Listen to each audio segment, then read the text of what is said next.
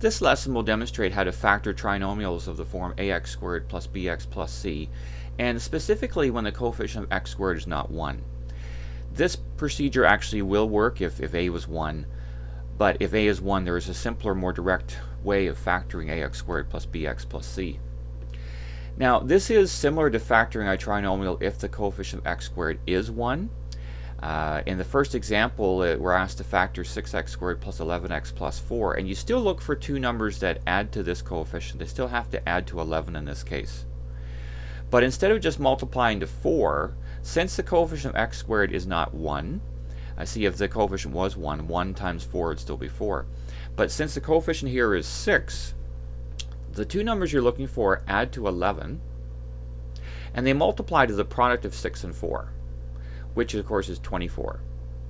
Now there's lots of factors of 24, uh, for example 1 and 24, but they don't add to 11. Um, 6 and 4. 6 and 4 multiply to 24, but again they don't add to 11. The numbers that we would need would be 3 and 8. They multiply to 24 and they add to 11. Now what you do with the 3 and the 8 is we rewrite this trinomial with the quadratic term the same but instead of the 11x, we break that down into 3x plus 8x. That's what the 3 and 8 are used for. The 4 in the end still stays the same. So I'm rewriting this with the 11x changed into 3x plus 8x. And now what you do is you look at what's the common factor in the first two terms and then also in the last two terms. So you're factoring a common factor of the first two and the last two always. And in the first two terms, the common factor is 3x. So we can factor 3x to the first two terms. The last two terms have a common factor of 4. So doing that common factoring, uh, 3x divided into 6x squared is 2x, and 3x factored out of 3x is a plus 1 in the end. 4 can factor it here, so 8x with 4 factored out is 2x, and again 4 divided by 4 gives you a plus 1 in the end. Now notice what's in the brackets is the same and that's a good thing. If it isn't the same, then you've made a mistake. Perhaps you chose the wrong numbers over here. Perhaps they didn't add to 11, for example. Or you got factors that weren't factors of 24. So if these are the same, you can factor a 2x plus 1 out of this, and what's left then is 3x plus 4.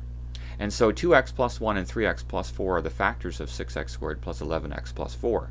Remember, you can always check any factoring by expanding back. 2x times 3x is 6x squared. This product, 3x, and the 2x and 4 multiplied to 8x, see 3x and 8x is 11x, and then 1 times 4 gives you that 4 in the end. So these are certainly the factors of the original trinomial. So the procedure, and this isn't the only way to factor a trinomial of this form, but this is the one we're going to focus on in this lesson. To factor ax squared plus bx plus c, you search for two numbers that add to b and multiply to the product of a and c.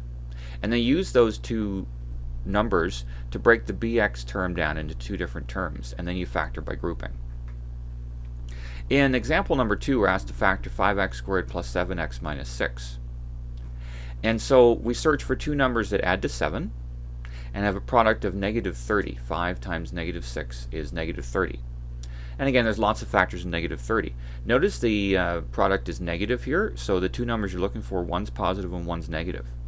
They do, however, add to a positive value, so that means that the larger number must be positive. And so we could search for lots of factors. For example, uh, 5 and negative 6, they do multiply to negative 30, but they certainly don't add to 7. And in fact, actually, to try it, actually would be negative 5 and positive 6, I suppose, but still doesn't add to 7. The numbers that you need are actually 10 and negative 3.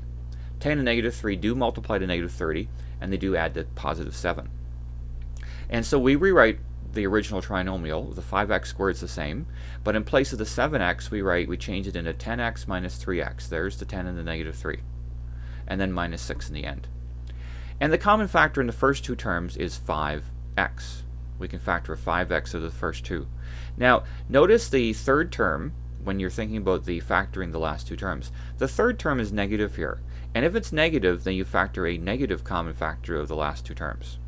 And it doesn't matter, if this was positive, you'd still factor a negative out if that sign's negative. So we can factor a negative 3 out of the last two terms. So factoring a 5x out of the first two, 5x squared divided by 5x is 1x, and 10x divided by 5x is 2. Negative 3x divided by negative 3 is 1x, and negative 6 divided by negative 3 is plus 2. Notice again, what's in the brackets is the same. So we common factor now a, an x plus 2 out of the first two terms, and the other factor will be 5x minus 3. And so you could check these should multiply to give you 5x squared plus 7x minus 6.